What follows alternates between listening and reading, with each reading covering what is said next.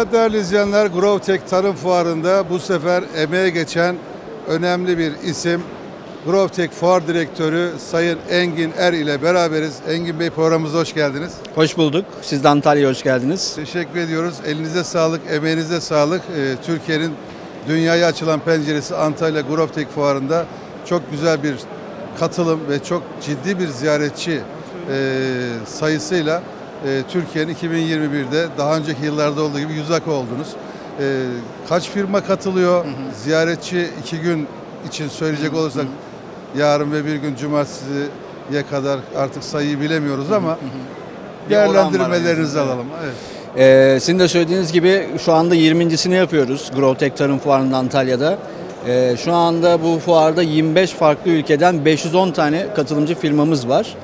Ee, ziyaretçi sayısı olarak baktığımızda dünkü rakamla mukayese edebilirim. 2019'a göre %20 daha yukarıdayız.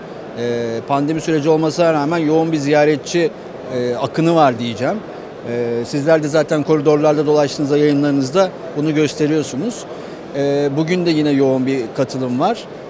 Bundan sonraki günlerde cumartesi akşamına kadar bu yoğunluk devam edecek gibi görünüyor. Bir online kayıt sistemimiz vardı fuardan önce açık olan ziyaretçiler için.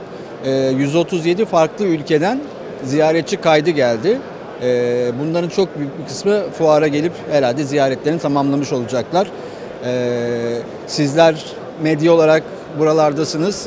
Ee, bugün Afrika'dan gelen kanallarla bile röportaj yaptım. Çok il- ilginç ilk defa. Ee, güzel anılar oluşuyor. Evet. Evet, evet, evet. Hangi ülkeden gelmişler Afrika'dan? Afrika bölgesine yayın yapıyorlar komple. Ee, işte Tanzanya, Kenya, e, Gana, e, Nijerya o bölgelere, Orta ve Güney Afrika'ya yayın yapan bir kanaldı. Ee, böyle. Artık Antalya e, ne derler şeyini aldı, e, mazbatasını aldı herhalde öyle mi Engin Bey? Evet. Antalya zaten son yıllarda e, Batı ile Doğu'nun bir birleşme noktası oldu. E, dünya tarımının buluşma noktası oldu. E, o yüzden e, gerçekten hani gurur verici. E, şu anda Antalya'daki açık olan otellerin hepsi dolu. E, çok ciddi rezervasyonlar var. Hatta dışarıda kalan e, kişilerin olduğu söyleniyor. Evet, e, Türkiye'deki ülkemizdeki fuarcılığı da konuşacak olursak Konya mekanizasyonda çok iyi bir fuar haline geldi. İşte İzmir e, hayvancılıkta biraz atak yaptı. Bursa maalesef e, oradaydık son 5 yılın en vasat fuarını belki pandemi vesilesiyle diye düşünüyoruz ama 5 yıldır bir inişte. Ama GrowTech'te e, stabil bir e, tatlı bir var. yükselme var. Evet. Güzel bir çıkış var. E, gerçekten bu noktada neler söylenebilir? Yani gözlemleriniz çok doğru. Ee, biz şuna bağlıyoruz. Ee, şimdi firmalar e, sonuçta buralara katıldıklarında ciddi masraflar yapıyorlar, paralar harcıyorlar. Ee, son zamanlardaki e, işte ekonominin zorlaşması, döviz artışlarından dolayı da e, firmalar da pazarlama bütçelerini kontrol etmek zorundalar. Daha seçici davranmaya başladılar. O yüzden hani nokta atışı yaparak en verimli fuarda nasıl daha çok müşteriyi yakalarım, yeni pazarlara nasıl ulaşırım diye arayış içerisindeler. Ee, o yükseliş bu nedenle oluyor. Çünkü bir katılan e, arkadaşına söylüyor ben buradan çok fazla verim aldım diyor. Ee, daha büyük metrekarelerle katılmak istiyorlar. Buna paralel de e, fark ettiyseniz biz sloganımızı değiştirdik. Keşfet, büyüt, kazan diyoruz. Ee, hem katılımcıya söylüyoruz bunu hem ziyaretçiye söylüyoruz. Bu ne anlama geliyor? Ee, buraya katılın ya da ziyaret edin diyoruz. Buradaki yenilikleri, hizmetleri keşfedin diyoruz.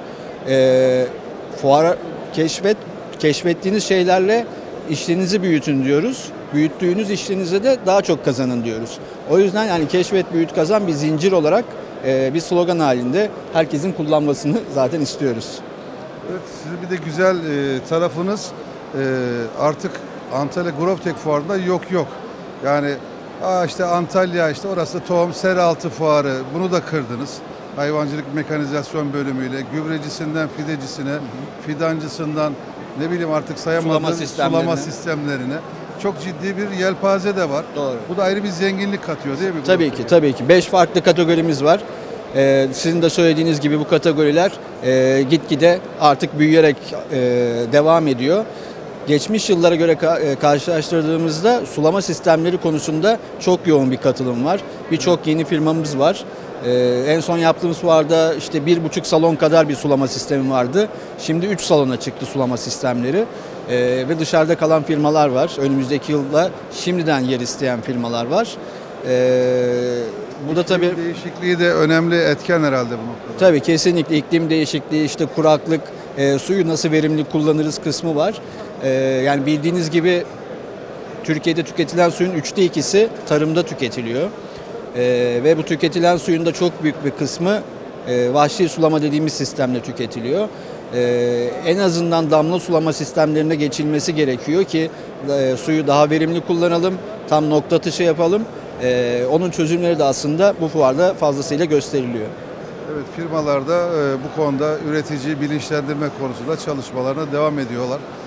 E, cumartesiye kadar e, kayıtlı olan ülkelerin tamamı gelecek mi? Bunu kontrol etme imkanınız olabiliyor mu? Ee, Yok ama her gün bakıyoruz kaç ülke oldu diye. Ee, bence yani bu 137 farklı ülkeden en azından 110'u 120'si buraya gel- gelecektir. Evet e, çok değişik ülkelerden ben duydum. Litvanya'dan bile gelen vardı. tabii tabii. Bugün denk geldim. Yani tebrik ediyoruz sizlere. Ülkemiz adına güzel çalışmalar. Kutluyoruz. Son olarak değerli izleyicilerimize bir mesajınız varsa efendim. Ee, şöyle bu cumartesi akşam 5'e kadar fuarımız açık. Sabah 10'da başlıyor. Cumartesi akşam 5'te kapanıyor. Diğer günler saat 7'de kapanıyor. Ee, eğer e, ilgilenen tarım profesyonelleri, çiftçilerimiz, üreticilerimiz varsa bence bu fuarı ziyaret etmeliler. Ee, sizlere teşekkür ediyoruz. Bizler teşekkür ediyoruz. 2021'in zirve fuarı ve e, görülmesi gereken fuarına tüm izleyicilerimizi davet etmiş oluyoruz. Katıldığınız için bizler de sizlere çok teşekkür ediyoruz. Biz teşekkür ederiz. Çok sağ olun. Evet değerli izleyenler Engin Er, GrowTech Fuar Direktörü. Kendilerine teşekkür ediyoruz. Ellerine sağlık, emeklerine sağlık. Türkiye'nin dünyaya açılan penceresi Antalya GrowTech Tarım Fuarı'nda röportajlarımız Manier Tohum sponsorluğunda devam ediyor efendim.